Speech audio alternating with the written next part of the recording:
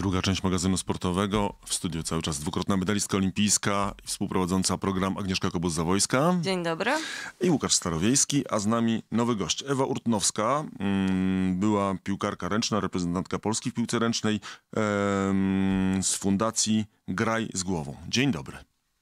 Dzień dobry, witajcie. Zacznę od takiego e, twojego trudnego, bardzo trudnego zdania. Dotknęłam dna. Jedyne co czułam to potworną niechęć do życia. To był taki początek twojego takiego bardzo mocnego wywiadu, który opowiadasz o takim trochę temacie tabu, który przestaje na szczęście być tabu, ale cały czas jeszcze, jeszcze, jeszcze daleko do tego, żeby, żeby można było powiedzieć, że ten temat jest e, normalnie traktowany wśród kibiców, wśród zawodników.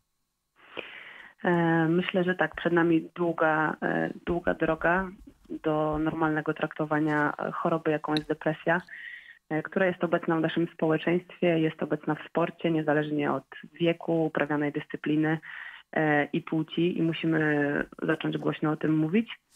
Mm, Słowa, które przytoczyłeś, rzeczywiście mogą brzmieć strasznie, ale tak faktycznie było i, i często tak choroba, depresja wygląda. Tą chorobę da się leczyć, z tą chorobą często dużo ludzi się mierzy i, i walczy i właśnie stąd też e, powstała nasza fundacja Graj z głową. Ewa, a powiedz nam- mi, Tak? przepraszam, że ci przerwę, ale bardzo mnie to ciekawi, kiedy się zorientowałaś, że nie dasz rady sama, że musisz się, e, że musisz kogoś prosić o pomoc, bo no czasem ciężko chyba jest się zorientować, że jednak e, nie wszystko w naszych rękach. Jako sportowcy jesteśmy przyzwyczajeni, że mamy bezpośredni wpływ na siebie i na swój wynik, bo to jest kwestia treningu, a tu jednak trzeba się zgłosić o pomoc. Kiedy się zorientowałaś, że musisz o nią się po prostu zgłosić? E, U mnie wyglądało to tak, że po prostu zaczęłam czuć, e, że do końca nie panuję nad, nad swoim zachowaniem, nad swoimi myślami. E, I bardzo dużą wartością i, i rzeczą, która pomogła mi w leczeniu, było po prostu właśnie głośne powiedzenie moim bliskom, że, że moim bliskim, że potrzebuję tej, e, tej pomocy. Także zdecydowanie było to zachowanie inne od moich codziennych i normalnych zachowań, które e, było dla mnie po prostu czerwoną lampką. A co potem, jak powiedziałaś bliskim? Zgłosiłaś się, y, poszliście do psychiatry, czy jak to wyglądało? E, Dostałam pomoc psychologiczną, zaczęłam współpracować z psychologiem. E, Na początku miałam nadzieję, że, że uda się wyleczyć mój problem, zaopiekować się nim bez, bez pomocy leków, ale szybko okazało się, że choroba postępuje i, i zgłosiłam się do, do psychiatry. E, Czy, czy nadal... y, Czy nadal korzystasz z pomocy psychologa i psychiatry, czy jednak już to minęło? Tak, z psychologiem jesteśmy w stałym kontakcie. Yy, ch- Choroba, że tak powiem, ustała, yy, ale też tutaj chciałabym głośno o tym powiedzieć, że z pomocy, z rozmowy z psychologiem yy, nie korzysta się tylko wtedy, kiedy jest bardzo źle, ale też wtedy, kiedy jest dobrze. Także tutaj też z tego miejsca bardzo ym, chciałabym odczarować trochę ten temat i, i powiedzieć, że z psychologiem można rozmawiać po prostu zawsze, wtedy, kiedy się tego potrzebuje.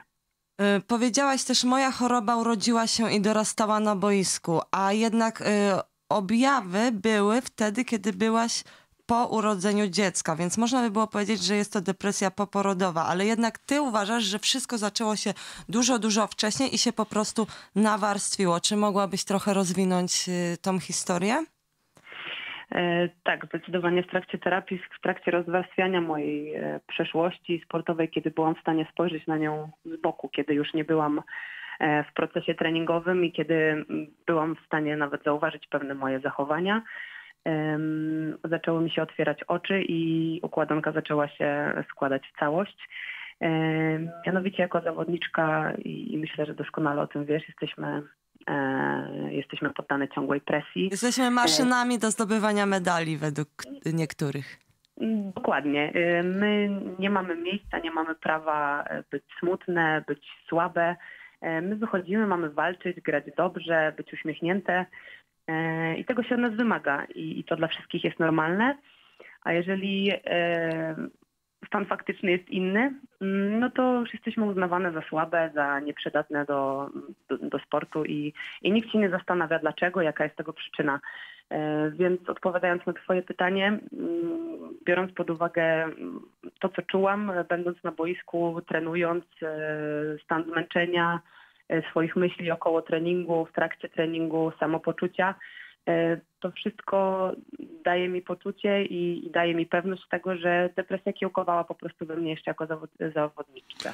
Mm, w takim wywiadzie, jednym z wywiadów mówiłaś o tym, że mm, czułaś, że coś jest nie tak, nie tylko mm, jakby w domu, ale też e, mm, jak, jak, jak trenowałaś, że mimo, że jakbyś nie przykładała się do tego treningu, jakbyś e, e, go nie robiła, to tej formy nie było i, e, i nie mogłaś do końca zrozumieć, na czym polega. To o co chodzi w sytuacji, kiedy jesteś tak jak zwykle, trenujesz jak zwykle, a wyniki nie przychodzą takie jak zwykle. To był, to był jeden z takich etapów poznawania siebie, jak rozumiem. To, to właśnie, że coś jest nie tak, ale nie fizycznie. Tak, zdecydowanie. Można to porównać do takiej po prostu blokady, kiedy na treningach y, codziennie wykonuje się powtarzalne, powtarzalne ćwiczenia, które doskonale wydawałoby się znane i, i, i które nie stwarzają żadnego problemu dla zawodowego sportowca. A w pewnym momencie zdajesz sobie sprawę, że mimo tego, że chcesz, nie jesteś w stanie pobiec tak jak chcesz, rzucić tam, gdzie chcesz y, i panować nad swoim ciałem. Z czego, jak Mm. myślisz, się to bierze? Mm, Myślę, że jest to jedynym wytłumaczeniem dla mnie e, logicznym i myślę, że właściwym jest, e, jest fakt, że to głowa kieruje, kieruje naszym ciałem. I jeżeli głowa choruje, to ciało nie jest w stanie pracować tak, jak sobie tego, tak jak e, chcemy, po prostu. A czy u ciebie, jeżeli jak głowa chorowała, czy występował jakiś ból somatyczny bądź objaw somatyczny z ciała? E, tak, zdecydowanie było to przewlekłe zmęczenie. E, nie potrafiłam tego zrozumieć, wysypiałam się, e, regenerowałam się po treningach tak jak, e, tak jak tylko mogłam najlepiej, a mimo tego byłam wiecznie zmęczona. E, Mięśnie mnie wielokrotnie bolały i, nie byłam w stanie po prostu zrozumieć, co się dzieje. Badałam się pod kątem e, choroby tarczycy, e, wielokrotnie sprawdzałam krew, oczywiście zaczynałam od tego, czy wszystko jest w porządku i, mimo tego, że te sfery były zaopiekowane, dalej moje ciało było wiecznie zmęczone. Czyli ty trenowałaś z takim poczuciem, a dopiero dowiedziałaś się o tym, że e, chorujesz e, po skończeniu tej sportowej przygody, że tak powiem. Tak, ja myślę, y, że sam poród i związane z tym hormony, wszystko co się dzieje w organizmie kobiety y, okołoporodowo w związku z byciem mamą, y, były tylko doskonałym momentem, żeby moja choroba ujrzała światło dzienne. Po prostu wyszłam z tego procesu treningowego, zmieniłam totalnie otoczenie.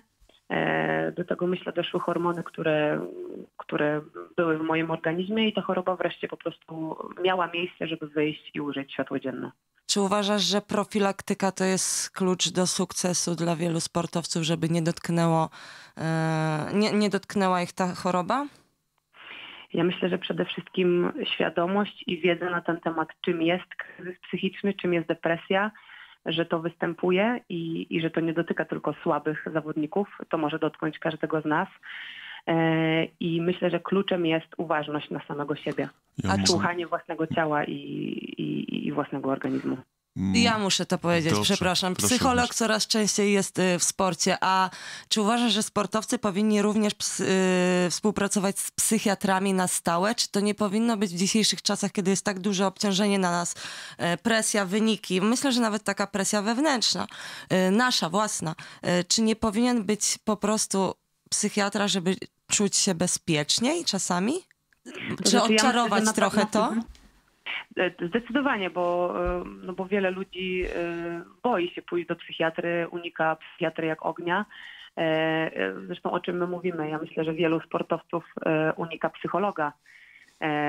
Ja wywodzę się ze sportu drużynowego i wielokrotnie, kiedy współpracowaliśmy z psychologiem drużynowym, wielu zawodników nie chciało korzystać z psychologa, bo bało się, że jeżeli na przykład trener zobaczy, że korzysta z pomocy psychologa, to jest po prostu słaby. Ja powiem gorzej. U nas to niektórzy trenerzy uważali, że jeżeli potrzebujesz psychologa, to nie nadajesz się do wioślarstwa, więc niestety Oj, dla, tak. to jest ważne, żeby odczarować ten No problem. właśnie, właśnie, wydaje mi się, że tutaj dotknęliśmy słowa klucz, jeśli chodzi o to, e, o diagnozowanie samego siebie i, i swoich problemów. To, że się boimy, że ktoś nas uzna za słabego albo nie nadającego się. I to No jest w ten... sporcie nie ma miejsca na słabości, powiedzmy to głośno. No właśnie Nie ma jest miejsce na słabości, tylko trzeba z nimi pracować, tak jak z normalnymi słabościami, jeśli chodzi o słabszą nogę, e, nie wiem, słabsze przygotowanie fizyczne, tak samo jest miejsce na to, tylko trzeba wiedzieć o tym, umieć się, nawet nie przyznać, tylko no, mieć szansę na to, żeby, żeby i tę, e, tę sferę e, móc e, ustawić w odpowiedni sposób.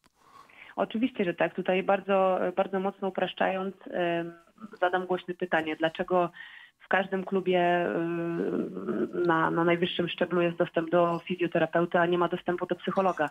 To jest podstawa, tak? Czym różni się głowa od ciała? To głowa kieruje naszym ciałem, a, a nie odwrotnie. Bo wielu A- trenerów myśli, że jak weźmiemy więcej jednostek treningowych, to po Tak, prostu będziemy szybsi, a to niekoniecznie tak działa. Zdecydowanie. Wrzucimy więcej ciężaru na gryf, to e, wszystko się wyjaśni, wszystko będzie dobrze. I, i to jest przerażające, bo wielu trenerów jeszcze niestety uważa, że to, co mówię, to, co mówimy, e, to jest, e, to jest nieprawda, że to jest tylko nasz wymysł i to tłumaczymy tym e, swój brak formy albo, albo że po prostu jesteśmy słabi i A się nie jest nadajemy. taka presja otoczenia, żeby nie iść w grupach do psychologa, no bo jak pójdziesz do psychologa, to znaczy, że jesteś też słaba, jeszcze się przyznasz, to już w ogóle. Czy taka, taka, taką mieliście, mieliście w czasie kariery takie e, od, jakby e, koleżeńskie, nazwijmy to, czyli z grupy wynikające e, przeszkody w tym, żeby, żeby, żeby pójść do psychologa? Na To przykład. znaczy ja tego nie doświadczyłam, ale no to, to o czym powiedziałam, tak, że niektóre zawodniczki głośno mówiły, że nie, to nie dla mnie e, i nie będę szła do psychologa, bo po co, mi nie jest to potrzebne. Także zdecydowanie nikt mi tego jakby nie umożliwiał, o ile w ogóle miałam taką możliwość korzystać z psychologa, bo też e, no, trzeba o tym głośno powiedzieć, że nie zawsze tak było, e, to, to bardziej e, spotykałam się z tym, że niektóre zawodniczki nie rozumiały w ogóle, czym jest psycholog i po co mm, on nam ma służyć. A czy nie uważasz, że psycholog powinien być dostępny nie tylko dla zawodników, ale dla trenerów? I ja na przykład ze swojego doświadczenia powiem, że e, mam wrażenie, że większe obawy mają trenerzy przed psychologami niż e, zawodnicy. Nigdy nie widziałam trenera u psychologa. Oczywiście, że tak. E, Nasza fundacja i to, czym się zajmujemy, e, chciałbyśmy objąć działaniami całe środowisko sportowe i też mówić o tym głośno, że, e, że depresja, kryzys psychiczny może dotknąć każdego trenera, działacza, zawodnika, kibica i, i to dotyka wszystkich, tak, niezależnie od tego, co robimy. Wiadomo, jeden jest bardziej lub mniej narażony, ale zdecydowanie trenerzy mają ogromną presję nałożoną na, na siebie i zdecydowanie są to osoby, które powinny mieć możliwość korzystania z psychologa, kiedy to, tego potrzebują. Ale to jest też chyba kwestia taka, że można wypracować lepszą komunikację z zawodnikiem i lepiej go zrozumieć. I mam wrażenie, że czasem taki mediator się po prostu przydaje, a niestety jest chyba, przynajmniej ja ze swojego doświadczenia powiem, że psycholog jest tylko dla, e, do współpracy z zawodnikami bądź z grupą zawodników, nigdy z trenerem i zawodnikiem. Jak u was było? E, To znaczy, patrząc na specyfikę naszej, naszej dyscypliny i, i to, jak, jak to wyglądało codziennie, mam takie doświadczenie, że trenerzy bardzo często mm, bali się wpuszczać psychologów albo osoby trzecie, powiedzmy sobie, do zespołu, bo wydawało im się, że wszystko wiedzą najlepiej, że Tak. oni są psychologami, że oni są e, trenerami przygotowania motorycznego, są odpowiedni za taktykę i, i nawet kontrakty czasami, tak, a e, no, byli w bardzo dużym błędzie i po prostu nie dopuszczali nawet do siebie mm, tej myśli i, i czasami naszych próśb, że, że potrzebujemy psychologa, że chcemy tego psychologa mieć w zespole, bo bali się, że mm, zaraz stracą kontrolę i panowania nad wszystkim. Ja się też spotkałam z taką, y, z taką sytuacją, że trenerzy niektóry, niektórzy uważają siebie za psychologów, mimo że nie mają do tego żadnego, żadnych kwalifikacji, a jednak nie można być od tak swoim psychologiem. No,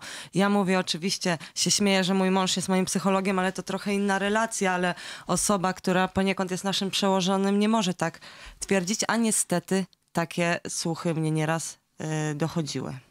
E, Zdecydowanie. To, o czym mówisz, no tylko pokazuje na to, że gdzieś ten porządek w sporcie jest zaburzony i tutaj też jest bardzo duże pole do pracy i, i do poprawy wydania tego sportu. A- E, Bo bardzo często trener po prostu nie ma nad sobą żadnego zwierzchnictwa. Oczywiście są władze klubowe, ale to nie wygląda tak, jak powinno. Czyli mm, jest teraz, jesteśmy w takim momencie, kiedy przełamane zostało tabu, że ci sportowcy to nie są tylko tacy twardziele, którzy e, 100% sukces, uśmiech, e, zdobywają medale, tylko że no, mogą mieć kłopoty na przykład z depresją, ale jeszcze nie przełamaliśmy tego, e, tego takiego tabu systemowego, że tak naprawdę e, to wszyscy, e, mm, którzy, którzy są zaangażowani w proces, e, o, żeby ten sportowiec osiągnął sukces, też powinni pamiętać o takich rzeczach. To jest ten moment, kiedy powinniśmy przełamać to, że właśnie w grupie i dla indywidualnie, i dla trenerów, i dla e, zawodników, i dla drużyn powinny takie osoby być, bo to jest niezbędnie potrzebne dla, dla wszystkich. Tylko co zrobić, żeby ten mur przebić? Mówić. Mm, Przede wszystkim trzeba zacząć o tym rozmawiać. E, Trzeba uznać, że mamy duży problem. My, mówię jako środowisko sportowe, e, bo choruje, uważam, cały sport. E, Cały sport polski, niezależnie od, od dyscypliny, a myślę, że my jako zawodnicy wiemy najlepiej, że to jest piękny kawałek życia i warto w niego inwestować. Tylko za, trzeba zacząć słuchać i e, ludzi, którzy, którzy mają pewne rzeczy do powiedzenia, którzy mają doświadczenie ich trzeba chcieć tej zmiany. Przede wszystkim trzeba rozumieć specyfikę sportu i to, po co robimy. Ewa, ja jeszcze zadam takie ci pytanie, które mnie bardzo y, zastanawia. Czy ty mówisz, że, że ty się wyleczyłaś, a czy nie boisz się, że ta choroba do ciebie wróci? Oczywiście, że tak może być, bo depresja lubi wracać i. i Ale czy ty się pewno- nie boisz o to? Oczywiście, że się boję, ale mm, teraz jestem bogatsza o to doświadczenie i, i, i wiem, myślę, jak postępować, na co zwracać uwagę. E, Więc mam nadzieję, że jeżeli choroba do mnie wróci, będę o tyle mądrzejsza, że będę mogła szybciej zareagować i dzięki temu nie, nie spadnę tak nisko. Nigdy nie wiemy, czy to do nas wróci, czy nie. Na pewno osoba raz dotknięta depresją musi być uważna na siebie, ale uważam, że to jest bardzo duży plus tego całego wydarzenia i, i, i największe doświadczenie i, i mój zasób to, że stałam się wreszcie uważna na samą siebie. Mogę, Agnieszko, zadać tobie pytanie? Y, nie, bo ja mam nie. jeszcze jedno. Mówisz, że jesteś wyleczona, ale musisz dbać o siebie. Jak dbasz o siebie? Myślę, że to jest E, też ważne. I zaraz możesz zadać pytanie. mi. Dobrze. Przede wszystkim, kiedy jestem zmęczona, kiedy mam dookoła siebie dużo bodźców związanych z pracą, z, z rodziną, z życiem codziennym, em, robię przystanek.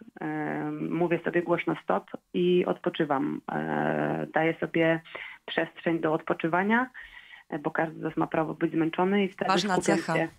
Tak, i, i wtedy skupiam się faktycznie na tym, e, co jest dla mnie przyjemne, co da mi ten odpoczynek, em, zarówno mojej głowie, jak i, e, jak i organizmowi. Także myślę, że to jest kluczowe, bo każdy z nas lubi co innego, na każdego co innego działa, ale tutaj kluczowe i znaczące jest to, żeby słyszeć samego siebie. To jest rada nie tylko do sportowców, dla każdego z nas, tak naprawdę e, fantastyczna. Ja się zapytam, Agnieszko, ciebie, bo ty też się przyznałaś przed Igrzyskami Olimpijskimi, że, że, że, że miałaś ten taki duży kryzys e, i mm, powiedz mi właśnie, jak tobie się udało e, z tego wyjść? Bo posłyszeliśmy, jak Ewa to robi mm, i jak, jak, jak, jak, jak, się to udało opanować, a tobie? E, Uważam, że miałam duże szczęście do ludzi, których spotkałam na swojej drodze. Oczywiście rodzina, mąż, ale przede wszystkim miałam e, szczęście do specjalistów, bo nie wiem, Ewa, jak ty uważasz, ale ja rozmawiając z ludźmi wiem, że nie zawsze dany psycholog przypasuje danej osobie i często dla sportowców jest jedna osoba, a jest nas kilkadziesiąt, e, prawda, zawodników. Mm, I ja miałam szczęście, że zgłosiłam się do osób, które po prostu od razu poczułam z nimi flow, e, od razu poczułam to, że to jest ta osoba i że jej mogę powiedzieć wszystko. Tak samo miałam przypadkiem szczęście, że e, zapisałam się na wizytę online do psychiatry, który okazał się mega, e, mega fajnym też psychoterapeutą i po prostu uważam, że w tym całym pechu towarzyszyło mnie, mi bardzo dużo e, szczęścia. A jak, jak twoja droga do tego psychologa, że tak powiem, idealnego dla ciebie? Tak, zdecydowanie to, co mówisz, jest bardzo ważne i, i tutaj należy też głośno zaapelować, że nie, nie każdym psychologiem jesteśmy w stanie współpracować, a tutaj zaufanie w tej relacji jest najważniejsze. Jeżeli ktoś się zrazi ra- raz, to nie należy się e, poddawać, tylko szukać tak długo, aż znajdziemy tego swojego psychologa. E, U mnie te, wyglądało to tak, że, że miałam bardzo dużo szczęścia i, i to dzięki ludziom, którzy mnie otaczali, właśnie wyszłam tak szybko z e, tej choroby. Na psychiatrę trafiłam świetnego od razu, natomiast jeśli chodzi o psychologa, z pierwszym w ogóle nie znalazłam, e, nie czułam chemii. E, ale dzięki temu, że szukałam dalej, wreszcie trafiłam na taką osobę, której ufam w 100%. A czy to psycholog mówi, e, że na przykład może poszukaj mm, kogoś innego, czy to jednak ty musisz wymyślić to? E, Chodzi mi o to, że idziesz do specjalisty i teraz pytanie, co specjalista, czy ci pomaga naprawdę, czy nie? Jeżeli na przykład nie czujecie wspólnego flow, mówi, nie, nie ze mną, poszukaj kogoś To znaczy, no mm, na pewno działa to na zasadzie współpracy, tak? I zarówno psycholog jest w stanie po pewnym czasie e, spotkań z pacjentem powiedzieć, że warto poszukać kogoś innego, bo też czuje, że ta osoba e, nie jest w stanie się w 100% otworzyć, tak? A bez tego otwarcia, bez tej szczerości, no ten proces leczenia nie jest możliwy albo jest po prostu utrudniony i trwa dłużej. E, natomiast my jako, jako pacjenci też musimy to czuć i, i musimy być odważni i też nie bać się tego, tak? Że, że kurczę, to nie ta osoba, z którą chcę pracować i szukam dalej. A jak, jak długo trwała twoja współpraca z psychiatrą? Jak długo yy, przyjmowałaś leki wprost? E, około roku przyjmowałam leki.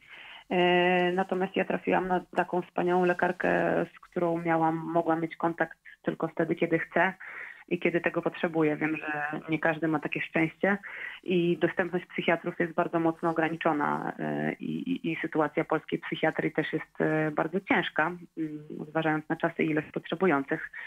E, Ale zachęcam tutaj wszystkich do naprawdę nieustannego poszukiwania swojego lekarza i nie poddawania się w tym temacie. Bo Założ- jak pokazują badania i jak pokazuje nauka, leczenie depresji jest najskuteczniejsze przy terapii, terapii i połączeniu farmakoterapii. Ewa, ty y, postanowiłaś razem z koleżankami y, z, z parkietów z piłki ręcznej, Kingą Achruk, między innymi Małgosią y, Stasiak, założyć fundację Graj z głową i co robicie? Jak, chce, jak chcecie pomóc tym innym osobom, które, które dopada mm, depresja? Co robimy? Na razie funkcjonujemy mm, wtedy, kiedy starcza nam tylko na to czasu, łącząc obowiązki domowe, pracując na etacie. E, I bardzo sobie życzymy tego, żeby, żeby nasze działania mogły zajmować większą część naszego dnia, bo chcemy się bardzo temu poświęcić. E, Natomiast naszym głównym celem jest e, wsparcie osób, które e, kryzys dotknął bo same wiemy z własnego doświadczenia, że rozmowa z osobą, która przeżyła podobne rzeczy e, lub to samo jest bardzo wartościowa i może bardzo pomóc. Dodatkowo bardzo mocno chciałybyśmy mm, odczarowywać em, temat samej depresji, ale też roli e, zdrowia psychicznego w sporcie. E, Mówić o tym, że całe środowisko e, jest dotknięte, że, że potrzebne są zmiany. Chciałybyśmy podnosić świadomość tak, społeczną w temacie zdrowia psychicznego w sporcie. Pomysłów jest bardzo dużo, natomiast wszystko zależy od tego, e, czy i jakie fundusze uda nam się uzyskać na działania. Ewa, a y, teraz patrząc na sytuację na y, świecie, wiadomo, że myślę, że kryzys mentalny dotyka wielu osób i to naszych sąsiadów. Czy, chce, czy będziecie chciały pomagać osobom z Ukrainy właśnie w, tym, w tej kwestii mentalnej? E, Tak, zdecydowanie chciałobyśmy też e, jakąś część zgromadzonych funduszy e, poświęcić na, na temat pomocy Ukrainie, bo jest to temat zdecydowanie priorytetowy. I pracujemy nad rozwiązaniami, które jesteśmy w stanie wdrożyć w tym momencie. Świetnie. Ostatnie pytanie, mamy mało czasu, bardzo mało czasu. Organizujecie bieg, biegam z czystą przyjemnością. Krótko przedstawisz e, o co chodzi? Mamy trz- 20 sekund mniej więcej, 25. E, Tak, dokładnie organizuje go Polada. E, My zostałyśmy ambasadorkami, zostałyśmy wciągnięte w akcję. Chodzi o to przede wszystkim, żeby tego dnia, 9 kwietnia, wyjść z domu, spotkać się na starcie albo z grupą znajomych e, i przejść dystans 10 kilometrów mm, w celu ważności roli psychiki e, każdego z nas, szczególnie w sporcie, ale pochylenia się nad tym tematem. Nie trzeba biec, e, można przejść, nie liczy się czas, e, liczy się cel i, i liczy się wyjście, zrobienie czegoś dobrego dla siebie. Biegam z czystą przyjemnością 9 kwietnia Ja w Warszawie. pobiegnę. Agnieszka pobiegnie. Z tego Ja co wiem z redakcji postaram. jeszcze kilka osób. Ewa mam nadzieję też. Ewa Urtnowska, Fundacja Graj z Głową była piłkarka ręczna, opowiadała nam o bardzo trudnym temacie. Bardzo dziękujemy. Agnieszka Kobus-Zawojska i. Łukasz Starwiejski. Sponsorem audycji jest PKN Orlen.